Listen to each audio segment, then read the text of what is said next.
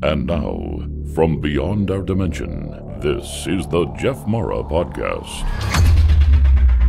Here's Jeff. My guest is RJ Spina, who has verifiably healed himself of permanent chest down paralysis, severe chronic illness, and life threatening conditions through his own authentic transcendence. His teachings, wisdoms, guidance, and revolutionary self healing and self realization technique has already completely changed and saved the lives of many across the globe. And today we're going to learn about it.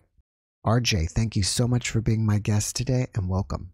Thank you very much for having me, Jeff. It's my pleasure. So, if you don't mind, let's just start with your history. You know, have you had any paranormal things in your history which led you to be able to heal yourself in the first place? Yeah, a- absolutely. So, um, Jeff is a little kid. Uh, I would, without uh, effort, without trying, and certainly without any um, direction or training, I would just leave my body. Uh, when I was relaxed, sitting in a chair or lying down, sometimes uh, maybe just prior to going to sleep, I would all of a sudden close my eyes and I was literally, my consciousness was just outside of my body. I'd be standing next to my body, I'd be hovering over my body, I'd be on the ceiling looking down. Sometimes I would literally, my consciousness would appear on the roof of uh, my parents' house. So this was uh, totally normal.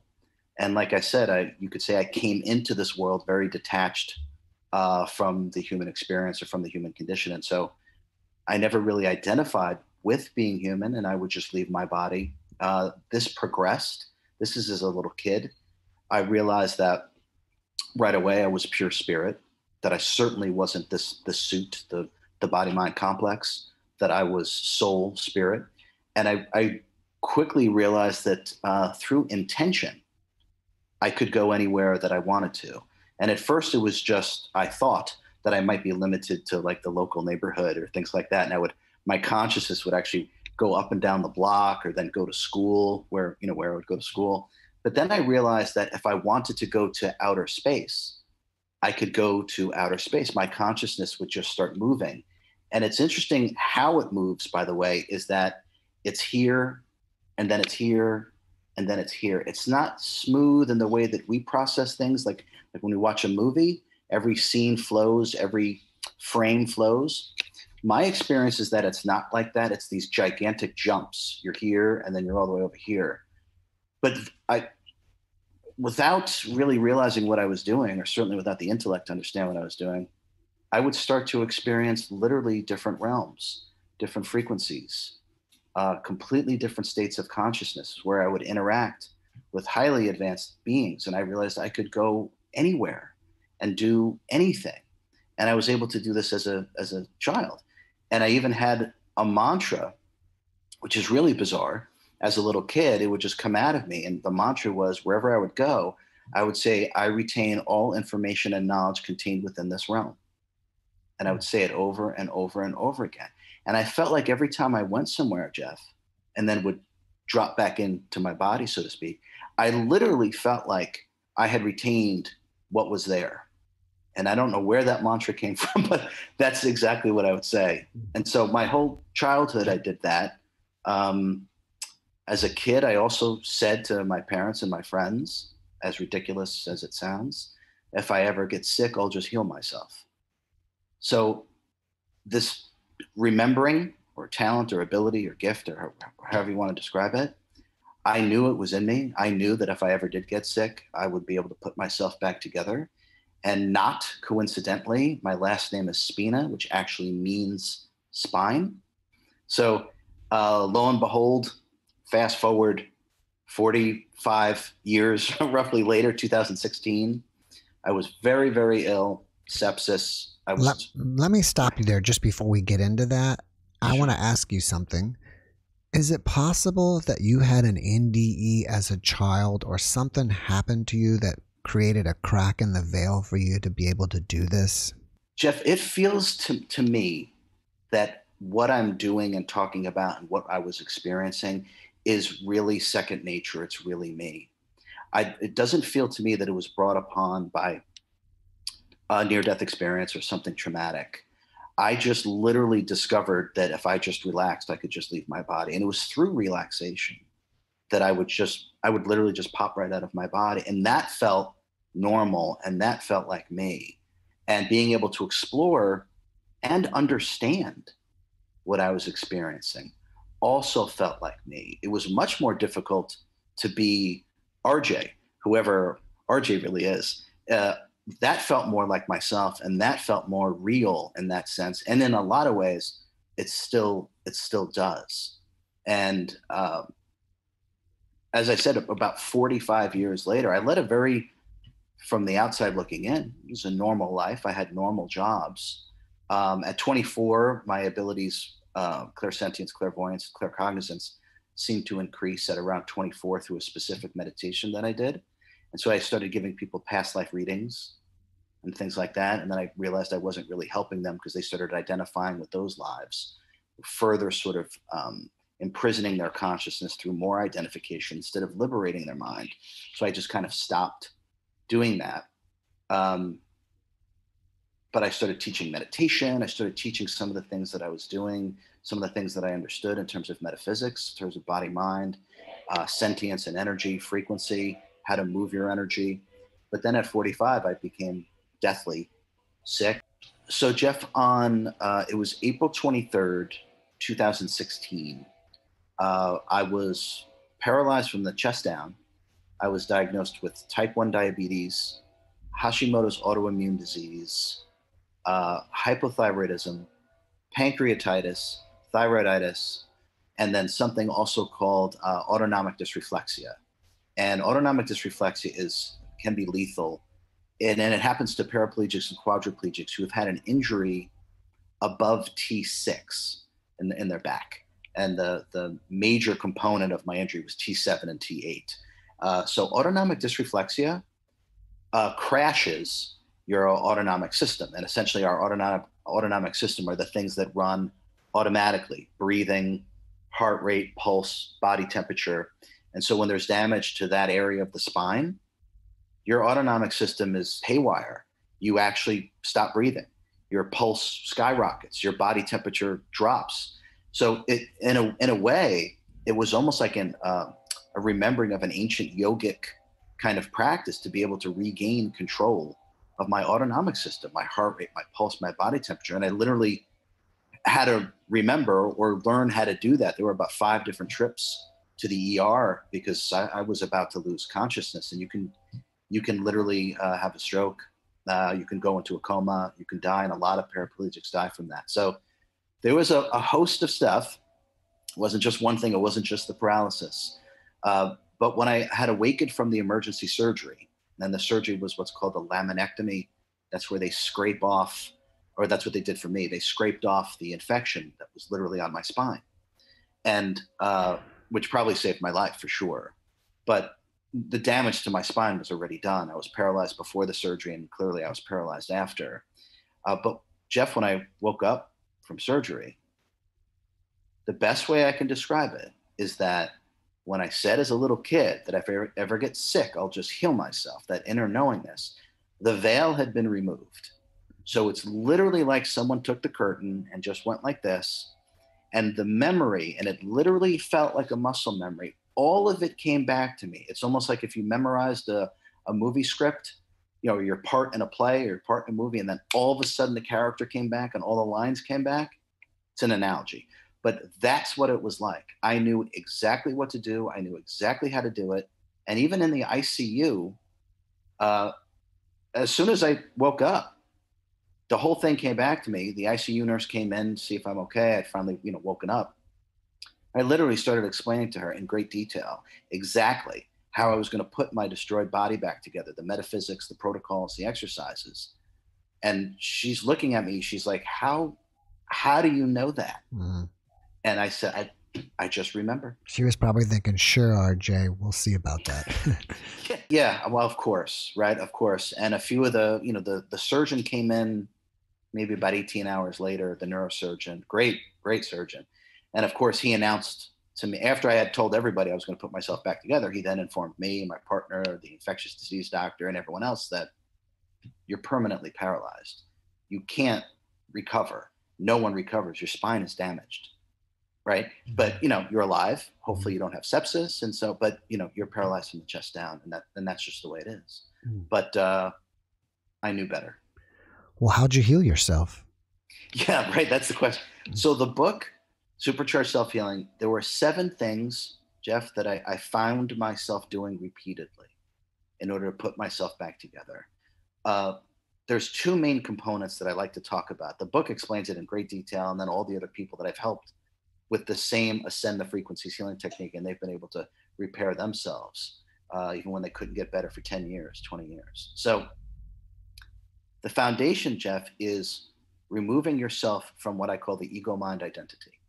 Okay, the limitation that you're just the body, the five senses, and the intellect. Okay, that is just the suit that we're wearing. We are not the suit.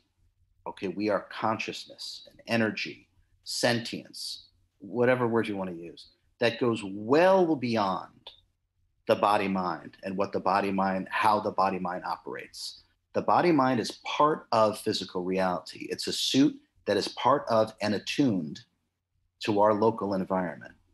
That is not what we are. We slide into this suit and we call that birth, and we slide out of that suit and we call that death. Now, upon the detachment from the body mind complex, and you can think of that through meditation, if you want to think of it that way. And I've been a relentless meditator and explorer of consciousness starting as a child, as we talked about before. So I knew I was spirit, I knew I was consciousness, and I had a different understanding of things already, even before I had uh, woken up from surgery. But everything came back, I remembered. So you, you disengage or stop identifying with the body mind, and you can do that through meditation. And then by going deeper within yourself, you change, just like you change the dial on a radio from 95.9 to 97.9 and now all of a sudden, there's a whole bunch of different information, music, that's being broadcast at that frequency. These higher frequencies and higher dimensions are part of our consciousness. We are that. That's what the higher mind is. We reduce ourselves to body consciousness through identification with the body. So I remembered what to do, and I would literally turn my dial, so to speak, my radio dial, so the electromagnetic frequency of my brain to these higher states of consciousness, which was happening to me as a child, you get to a certain point, Jeff. I call it the etch a sketch level. So there is a level within our higher mind where form and function of the body is created. The higher consciousness is the architect of our form and the chemist of our biology. So when you go to that state of consciousness, you are literally operating at the blueprint level. And you can begin through your intention, you can begin to put yourself back together by envisioning yourself how you need to see it, by feeling what that's like, by commanding the energy to come to the areas that you need.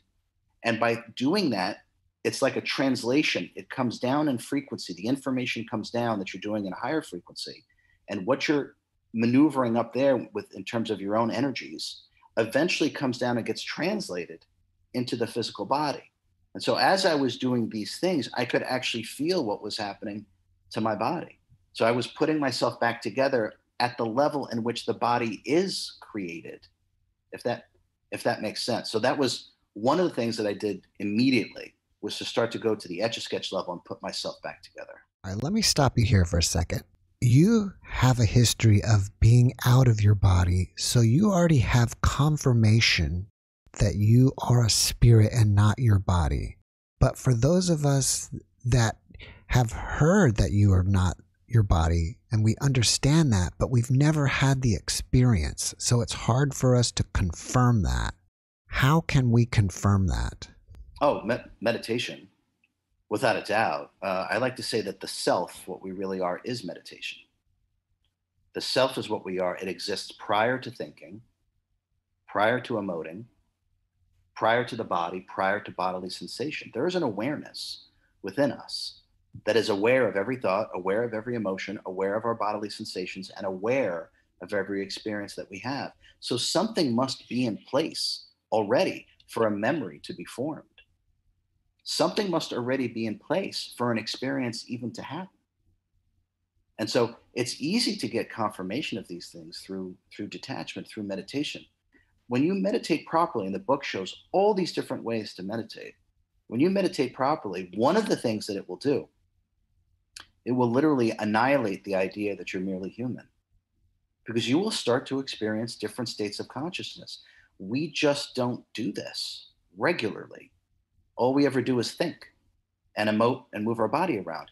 That is the tiniest fraction of what we are capable of. The tiniest fraction. So meditation is the is the way to do that. And another way to break free of the ego mind identity, this program that we're just body mind, right? Is to literally ask yourself the question, as funny as it sounds, but when you ask yourself, who am I? Your mind goes blank. Really think about that first. What does that mean? Who am I? And it's blank. And what actually happens is the energy metaphysically, I know our eyes don't see this, but some people can see this. I can see this. What happens when you say, Who am I? The energy drops down out of your mental body. Your mind goes blank because there is no who. It's all one thing. There is no who. And so the who is made up. I'm a this, I'm a that, blah, blah. Those are all identifications which are part of the ego mind identity. What we are comes before that. We slide into this suit, we slide out. So what we are comes before that. And by asking ourselves a simple question of who am I? There's no answer.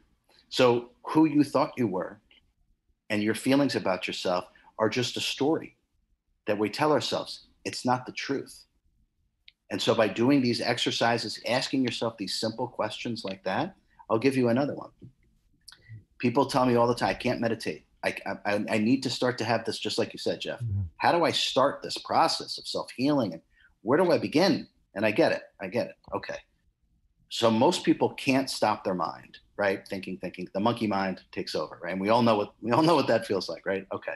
And I understand why it's so difficult because we're bombarded all the time with stimulus, right? So we're always trying to process everything. Okay. So here's meditation in one second. All you have to do is pretend that you just arrived here. No past, no future. Hmm.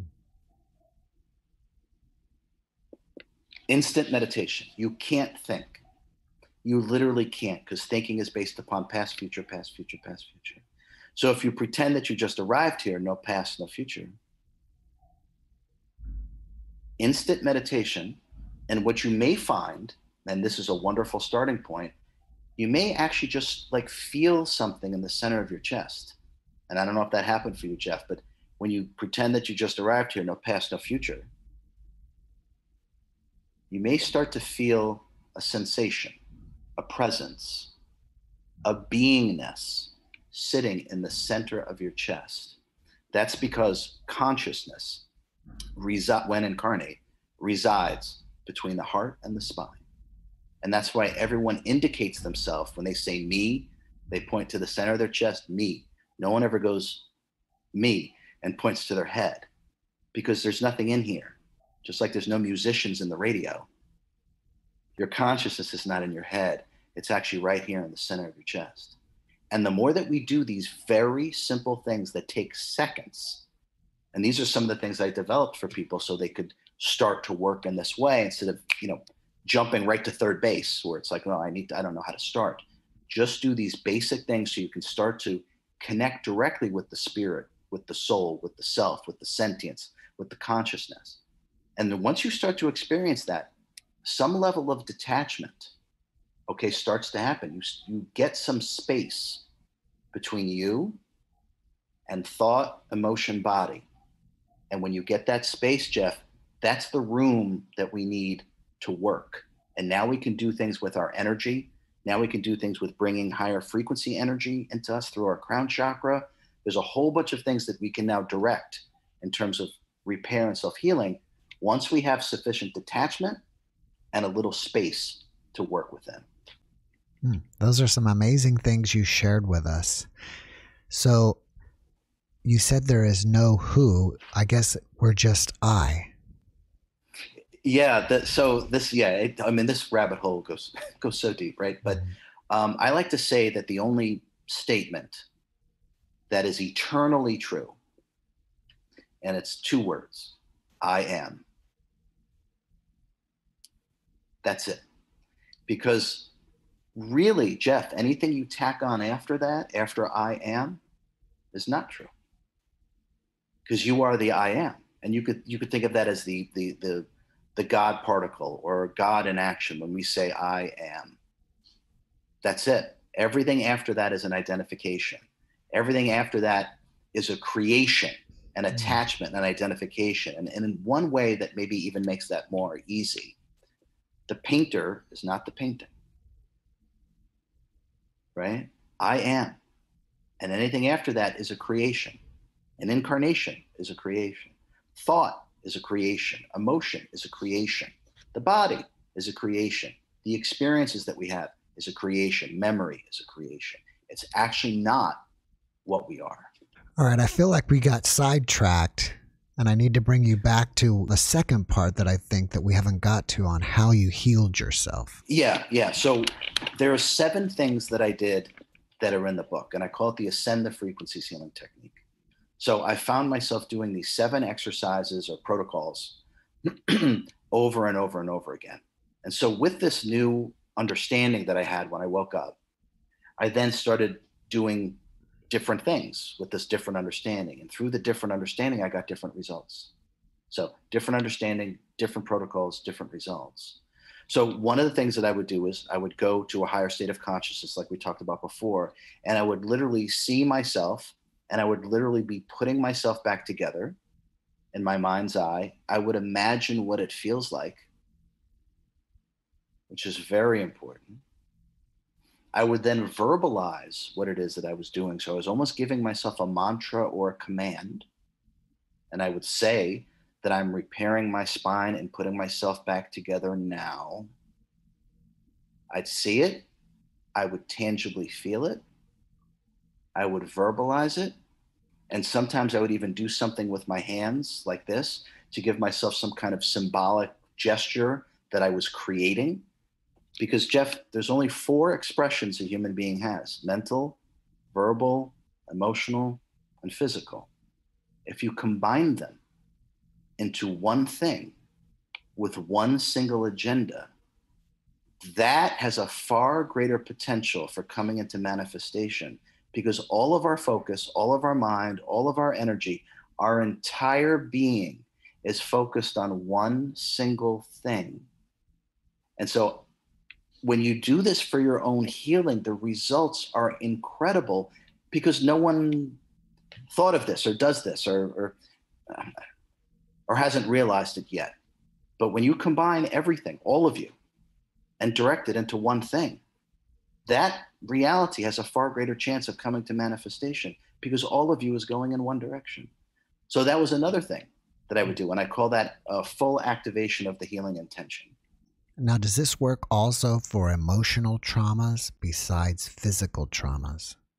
Yeah, everything, Jeff. Any imbalance, any imbalance, because what we're doing is we're returning to what we really are that I am, the self, right? And not what comes after. So, one of the things that we can do if someone is uh, struggling emotionally, right? Let's say depression, right? Uh, or anxiety or an overactive mind, right? We can do that first thing that I showed you because it's really incredible. So let's say we're upset about, about whatever, right? Just ask yourself, who is it that is upset right now? Me, I am. Who am I?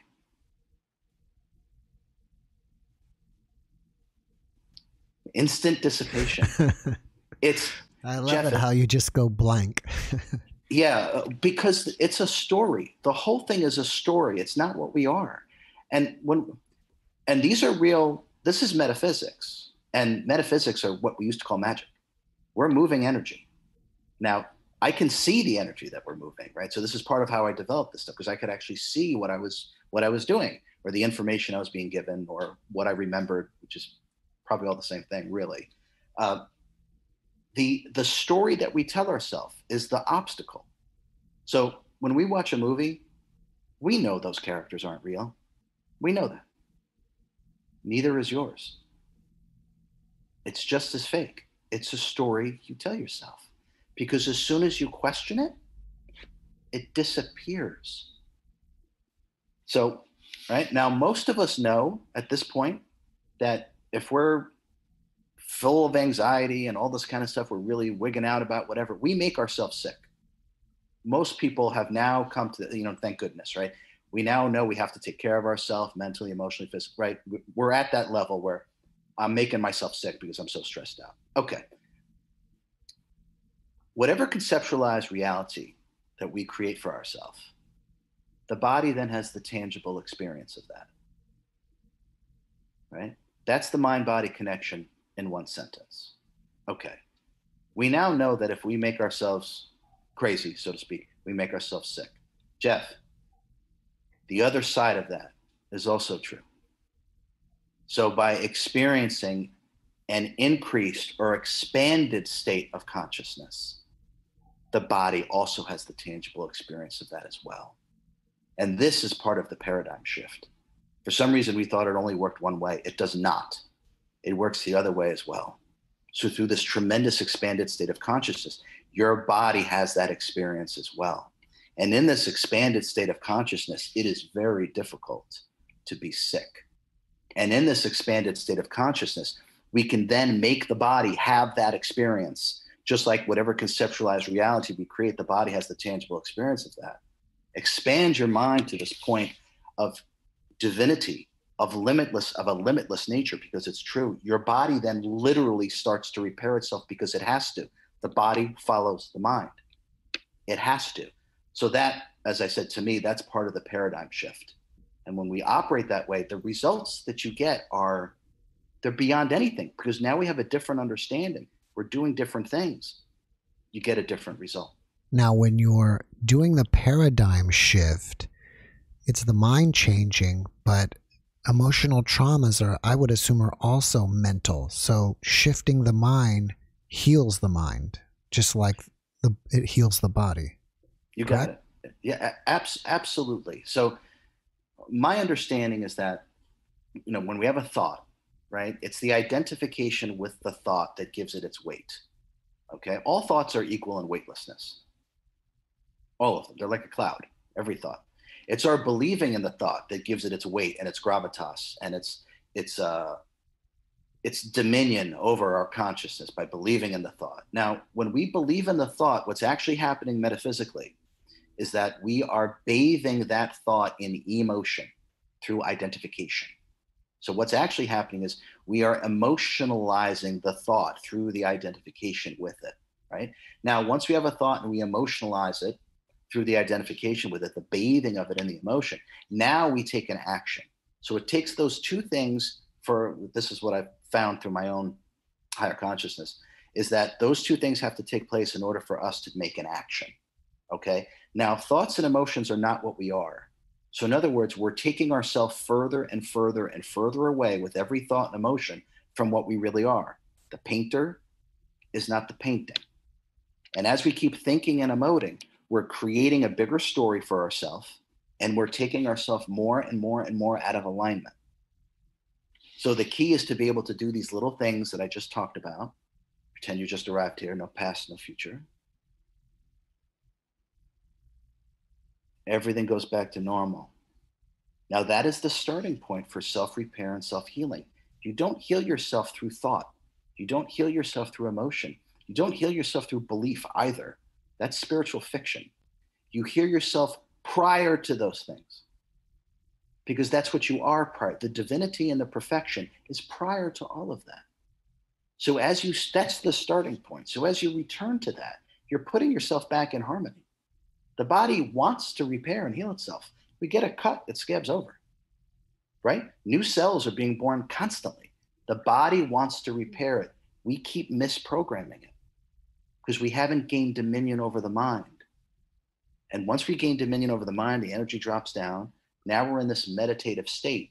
And now we have some space. Now we can do meta- metaphysical exercises that bring higher frequency energy through our own higher mind right directly into our body And this is part of how I literally put myself back together. Hmm. If we go one step deeper, do we already know all this stuff before we're incarnated? And two, if you can follow up with that, why do we come here in the first place? Okay, those two great questions. Okay. And, and if I forget to answer the second one, remind me because I want to answer Okay. both of those. Okay. Uh, do we understand this uh, prior to incarnation? Yes. So everything I'm talking about is accessible to us and known to us when we're existing in a, a much more holistic and much more aware state. So we're we are beyond what even being human is. So in a in a sense, I'm trying to give a visual.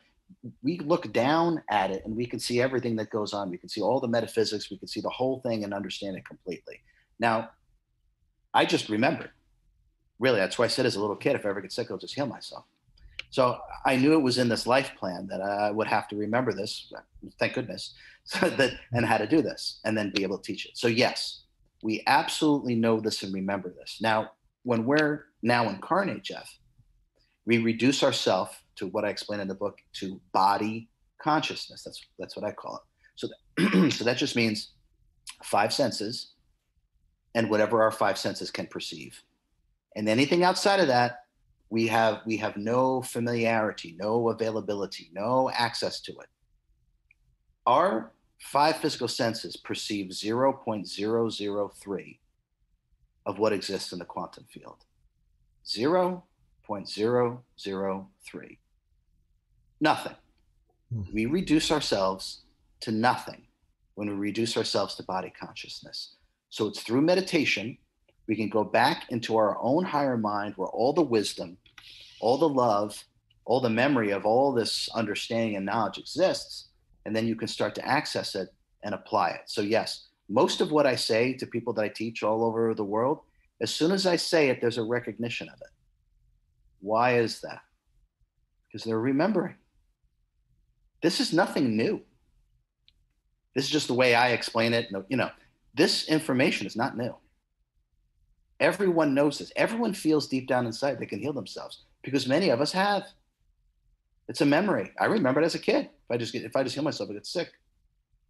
So everyone knows this is within them. We just have to remember. We have to reawaken ourselves, and this is what's happened to me through my own self-realization, enlightenment, whatever word you want to use. I don't care. I, I just remembered everything. So yes, all of us can do this, and many of us have done it before, and all of us understand this before we get here. Once we get here, we reduce our. It's like total amnesia. It's like waking up on the bottom of the ocean in a diving suit with total amnesia, having no idea how you got there, who you are, what you're doing, what's the purpose, and why why why are we here? Right? That's part of the incarnation. Because as we come down, we lose consciousness. We literally and then we see ourselves in the suit, so we think we're human. We think we're this is where we're from. This is all there is. It's all I can access. And then you leave your body. It's like going back on land. Ah, oh, you feel better. You can move around better. You can see better. You understand everything better. Right? Functionality, mobility is greatly increased. This is what happens when you're out of your body. It's the same thing. So, sorry for the long winded answer, but the answer is yes, uh, we do know this, and this is a remembering. And Jeff, you're, I knew I'd forget the second part of your question. And the second and the second part is why do we do this? Yeah. Okay. Right. Okay. So my understanding is that the the one directive that existence has is to is to know itself, to know thyself, right? All existence, all consciousness, everything is to understand itself, right? Self-realization, enlightenment, right? So that is the one directive. And in order to do that, we have to experience everything within God's multiverse, which includes the low frequencies of uh, the physical universe. So this is just simply a, an area within what source God created that we experience. We experience all the way down here, we experience all the way up here, we experience in the middle, over here, over here. So it, it is for us to explore ourselves within a different environment. And the key is to recognize or realize the self, self realization, to realize the self in every single arena, frequency, dimension, reality of God's multiverse. So we come here because we can. We come here because it's a unique experience. Only in the low frequencies of the physical universe does physicality, tangibility, solidity actually even exists. We have to come here to experience the the tangibility of our intention. Because when we're in a higher state of consciousness and existing in a higher frequency, higher dimension, Jeff, there's no physicality at all. None. It, it, everything is ephemeral, so to speak, right? This is where there's physicality, there's solidity. So it's a great challenge to come here as an energy being and experience physical reality. And it's a way for our consciousness to evolve by having this experience. We, we learn things about ourselves here that you can't learn anywhere else. All right. So after you healed yourself, did you go back to the hospital or the rehab facilities and show everybody that you're walking around? And if so, how did they react? Yeah, I did. I did do that. Um, on the the homepage of my website, there is a video of uh, me, and it's time stamped of me unparalyzing myself. So you can even see me back in the hospital rehab, and then towards the end, you see me in Kauai walking up a gigantic hill. But I did go back. I wanted to go back because my understanding and what they all told me is that they don't see anyone get better.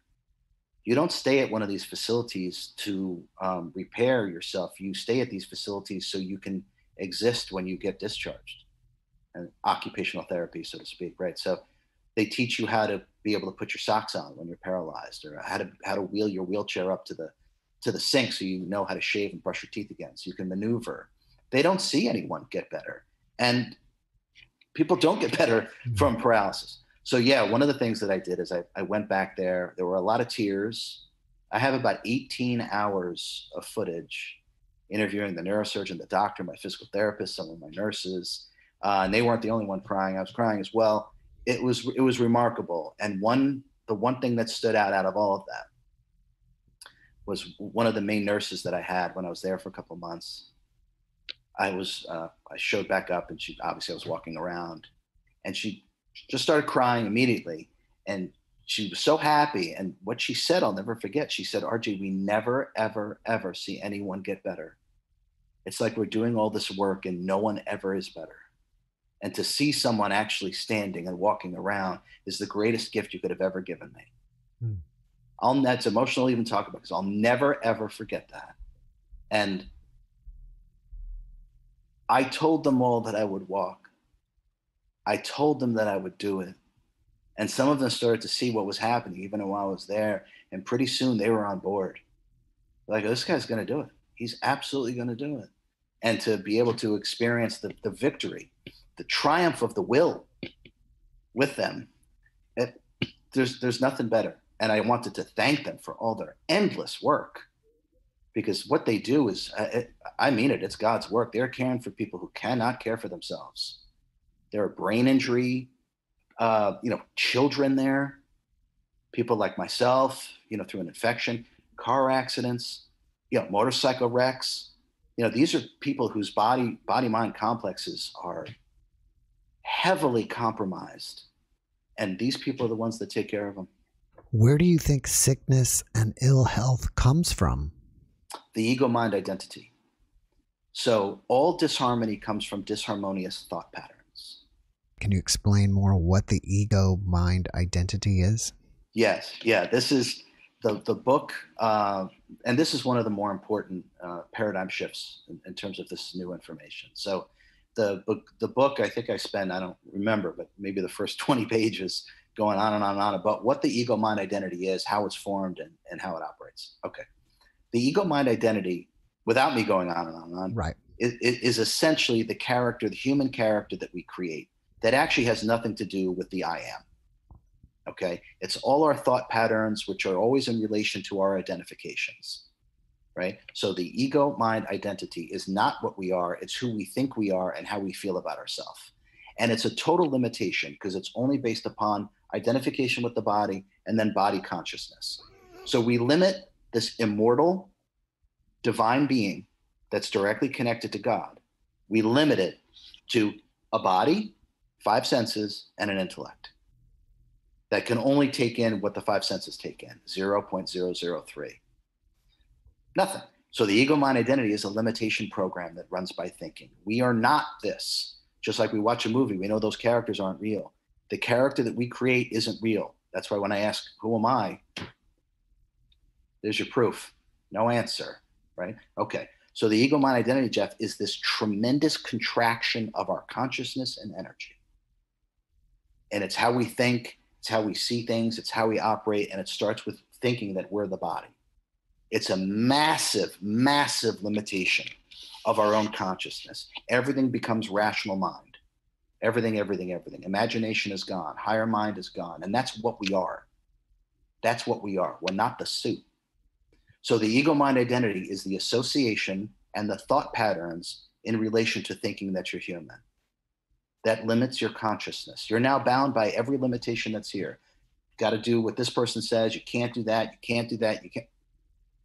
It's nonsense. Uh, there's no other way to say it. It's nonsense. So the ego mind identity is the human character that we create based upon the identification that this is all we are. So that's what the ego mind identity. And every thought is in relation to our identifications. And this is how we get sick because it's not true. We're living a lie. You call the ego mind identity the false self, the shadow self, the slave self, whatever, whatever. All the world's a stage, as Shakespeare said. So we create this character that is not who we are. We come before the character. And the, the ego mind identity is a gigantic, massive limitation program. And the subsets of that limitation program are sickness and disease because we have taken ourselves out of harmony. We have taken ourselves, we have severed the direct connection with the self and created this false character that is not who we are. So all sickness and disease are subsets of the main program of the ego mind identity. We take ourselves out of balance. That's where we get sickness and disease from. Would that even include if they have some kind of genetic predisposition or they were born that way? Yeah, so the genetic entity, uh, the physical body, which I call a genetic entity. So your hereditary, your traits, your genetics are based upon every soul that ever incarnated within that hereditary line prior. So that means it includes all the social social conditioning, all the thought patterns, all the emotional patterns of every single soul that ever incarnated within that genetic line. So essentially, you're incarnating into your ancestors. Okay, so that's what genetics and hereditary. Now, some bodies, mine had certain predispositions, the type 1 diabetes, I was automatically susceptible to this, that had the body, which, which isn't me. But the sentience that's inside, what we really are, is in control. We command the body mind. Now, unless we command the body mind, then the genetics and the hereditary traits will take over because we haven't exercised our dominion over it. I'm type 1 or been diagnosed as type 1 diabetic. I don't take insulin. That's impossible. No, it's not. No, it's not. So when the self, the sentience takes over, think about it. We tell our body mind what to do all the time. We just don't think we can do this in terms of healing. We can. You may have already covered this, but if not, can you give us ways to stop the EMI? Oh yeah. Okay. Great. That's great, Jeff. Um, we yeah we did do a couple of those things. So as I say, the e, the EMI, the ego mind identity, is a limitation program that runs by thinking. Okay, what's the remedy to thinking? Meditation, right? Okay. And as we talked about a little bit before, many people have a hard time meditating, and I and I understand. Okay. So all we want to do is we, we want to stop the thought process, hence which is meditation. So there's many things that we can do, and the book is literally filled with them. And we went over pretend you just arrived here, no past, no future. Everything stops, limit, no thinking, you're not meditating. Um, you can also ask yourself a question that you sincerely don't know the answer to, and you don't care what the answer is. For example, how many hairs are there on a cat? I don't know. Okay, right? No one really, I don't think anyone. So you don't know and you don't care. This is so important. These things seem so simple, they're so profound. Within simplicity, there's a power and an elegance because what's really happening is the energy is draining out of your mental body and out of your emotional body. This is the starting point for healing. This is the starting point for stopping the ego mind identity, which runs by thinking, thinking, thinking, thinking. So we simply want the energy to drop out of the mental body and out of the emotional body. And that's another thing that we can do, Jeff, to stop the ego mind identity from running. So just do it with me as I do it. We've all seen water drain from a bathtub, from a sink, from a pool, from wherever, right? Okay. So right now, just imagine like water draining from a bathtub, the energy dropping down out of your head, like water draining down. Now your mind's empty. And let the energy, let the water keep draining further down, further down, past your chest, past your stomach, and then right back down below your belly button. Stop there. Can't think, can't emote. Instant meditation. The EMI has stopped. Now, all we want to do is normalize this. Now you can be in a perpetual state of meditation. Healing has begun. You're now making the steps towards self realization because you are now experiencing yourself directly, not what you produce thoughts, emotions. Self realization is experiencing the self directly. Healing is tapping into the self directly, and the body automatically wants to repair itself. And then the steps in the book show you how to do it. But by stopping the ego mind identity, you finally experience yourself. And as you're finding out, Jeff, look how easy this is. Right? Because the truth doesn't require your participation. Lies do. A dog doesn't have to try to be a dog, it's a dog. You, my friend, don't have to try to be yourself. You are yourself. The effort is in trying to be the ego mind identity. And that's how we get thrown out of whack. And that's how we get sick. And that's why we age. That's why there's eventual decrepitude and demise. When you're closely aligned with yourself, all those things are so slowed down completely slowed down. There's actually even a way to stop them. But this is how you do it. You stop the ego mind identity by simply removing the energy out of the mental body, just like water draining from a bathtub. Simple and immediate and tangible. And that's how you know you're working with the truth.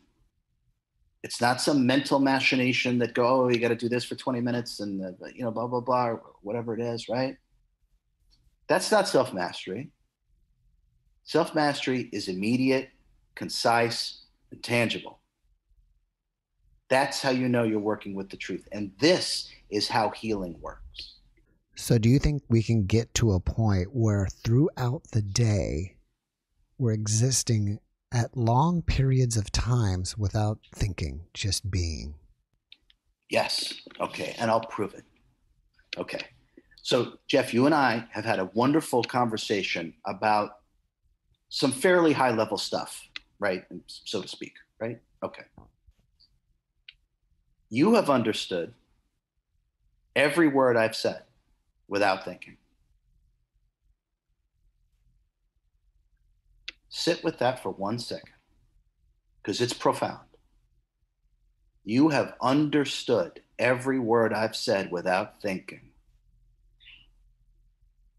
understanding, tangible understanding, and real communion happens when you don't think.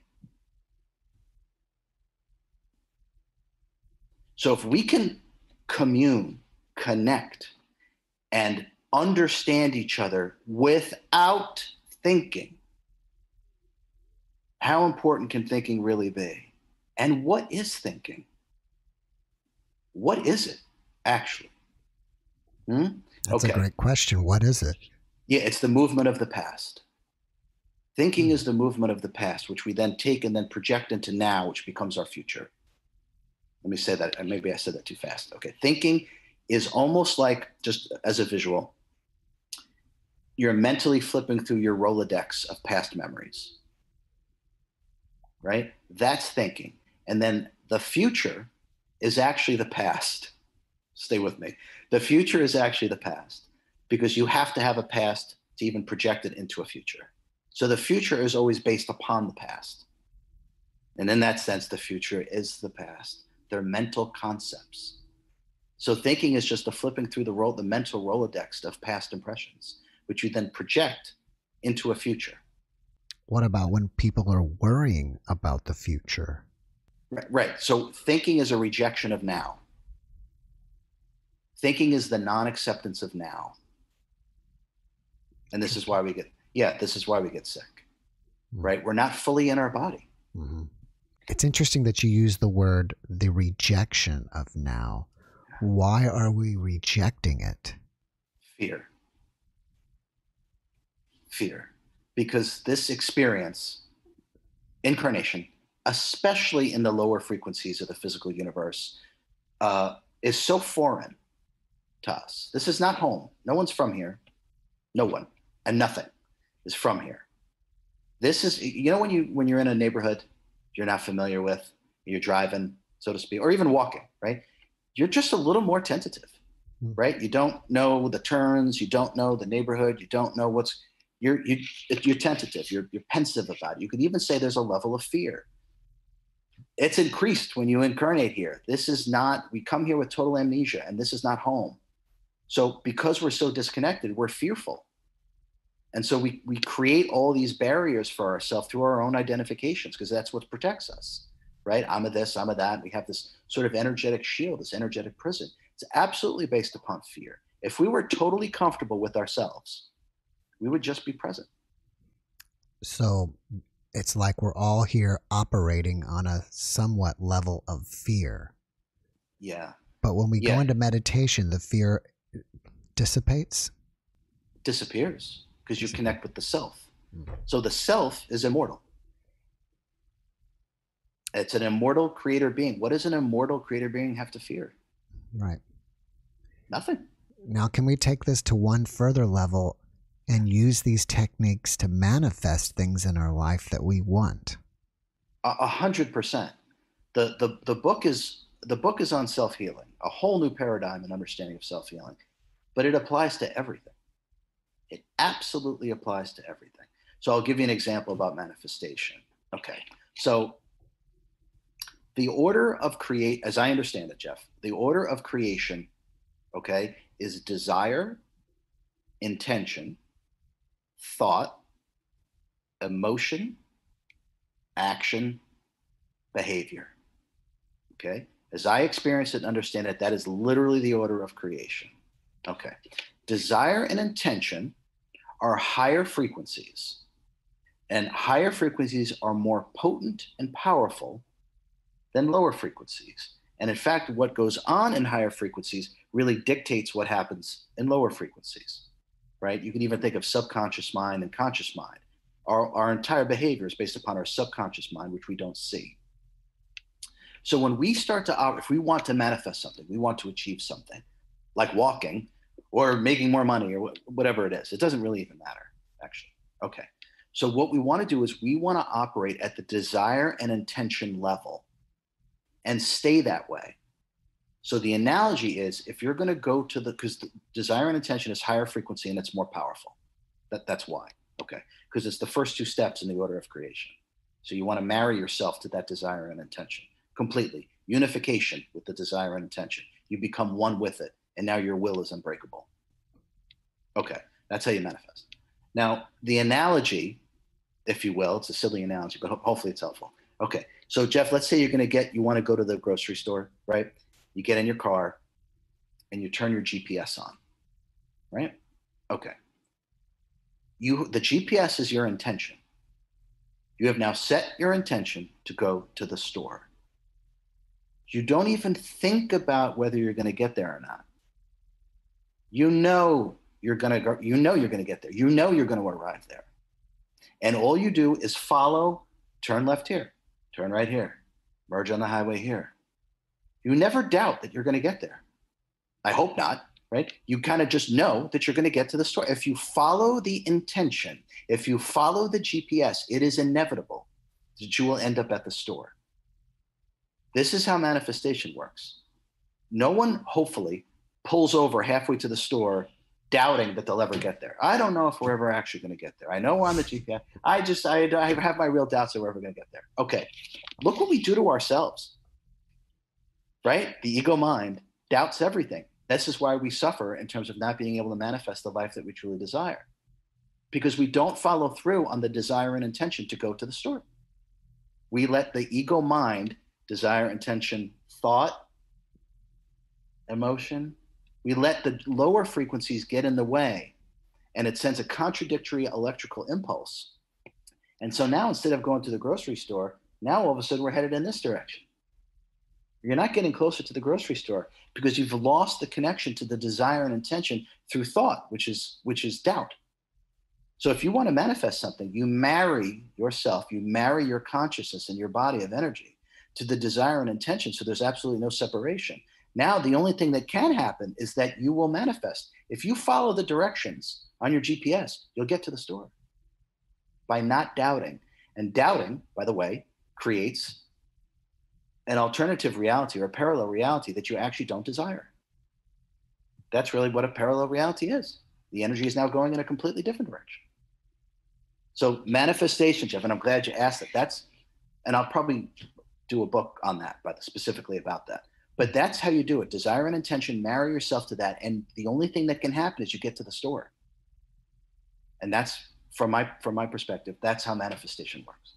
Let's see here. All right, RJ. Um, time has flown by through this podcast, and I want to let people know where to find you and where to get your book. Sure. Yeah. So the website or my website is ascendthefrequencies.com. Com, and uh, my first book, Supercharged Self Healing, is uh, available on Amazon and it's in Kindle, audio, CD, paperback. It already went into its uh, second printing. So thank you very much for everyone who's bought that. Um, but it's it's revolutionary. It's a new paradigm. It'll teach you things and show you things that are extraordinarily simple yet mind-bogglingly powerful and you can use the teachings in the book not just to learn how to meditate effortlessly, to self heal, self repair, authentic self realization or enlightenment by following these steps. It applies to everything personal life, business, whatever it is that you want to achieve. You're going to now know the metaphysics in terms of how to make something come into manifestation. People from my podcast may want to reach out to you and ask you questions. Are you open to that? And if so, yeah. how can they reach you? Yeah, absolutely. Art, uh, my email address, oddly enough, is rj at ascendthefrequencies.com. Mm-hmm. Please feel feel free to reach out to me. I, I answer everyone's email, so I can't do it right away most of the time, but I will answer uh, any sincere question. I will absolutely answer. And you also have a YouTube channel, right?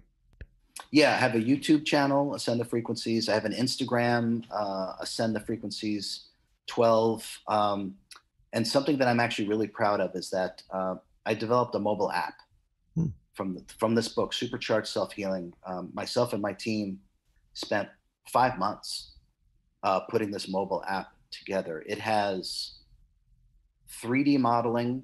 So I hired a company that captured some of the things that I see from you know from a higher state or altered state of consciousness. So we have 3D modeling, whiteboard animation, computer graphics, uh, videos. There's 25 hours of video alone on this mobile app. It teaches everything that's in the book and then some things that the publisher wouldn't let me put in there. Mm-hmm. It's it's revolutionary and for for those that are really interested in understanding the metaphysics for their own self-healing and their own self-realization, there's never been anything uh, like the supercharged self-healing mobile app. Hmm, great. All right, RJ, before we finish up, can you leave us with one last positive message? Give yourself permission to heal. Give yourself permission to heal. Your doctor might not give it to you, your chiropractor, your wife, your husband, oh, whoever. It starts and ends with you. You are that powerful. You are so powerful, you have no idea yet. And what I want for you to realize is how powerful you really are. Give yourself permission to heal. It is your divine right. It is your destiny to do this. It starts and ends with you. There is nothing you can't do when you follow those protocols about desire, intention, thought, emotion, action, and behavior. There is nothing that you can't do in terms of getting better or achieving in your life. It starts and ends with you. And what you are is eternally whole and complete and divine. You are not missing anything. You are not lacking anything. You never have and you never will. It's impossible. That's just the mind. You are so much more than the mind. Get the book, avail yourself of this, lead the life that you want. It's up to you. RJ, thank you for that message. And when you get your next book out, definitely look me up so we can get you back to talk about that and more. That's, that sounds great. It'd be my pleasure. Thank you very much, Jeff. I enjoyed every second of it. Thank you very much. Uh, you're welcome, and thank you for being my guest. Thanks for watching the Jeff Mara podcast. I really appreciate you. Another way to show support is through YouTube memberships. And if you do, there are loyalty badges and other perks depending on your level of membership. All you need to do is click the join button underneath the video to find out more. Thank you for your support.